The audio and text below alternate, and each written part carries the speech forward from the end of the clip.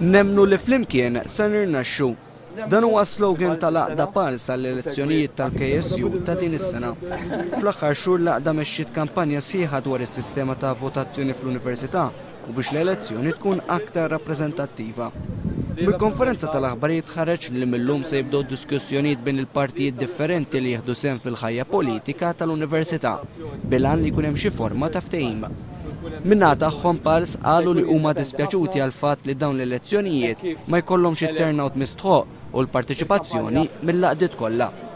Appellaw għal aktar parteċipazzjoni u qalu li huma qed jippreżentaw tim ta' studenti motivati, kapaċi u lesti biex jagħtu l-kontribut tagħhom.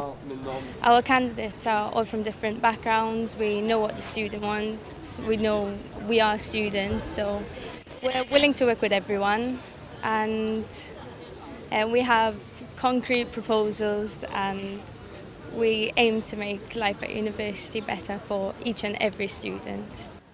Bħala organizzazzjoni Pulse qegħdin tim magħqud u motivati sabiex inwasslu l-aħjar għall-interessi tal-istudenti tal-Università wara li nilħqu kunsens ċar mal-għaqdiet l-oħra konċernati rigward is-sistema li qegħdin nipproponu għal iktar ugwaljanza u iktar demokrazija fl-Università.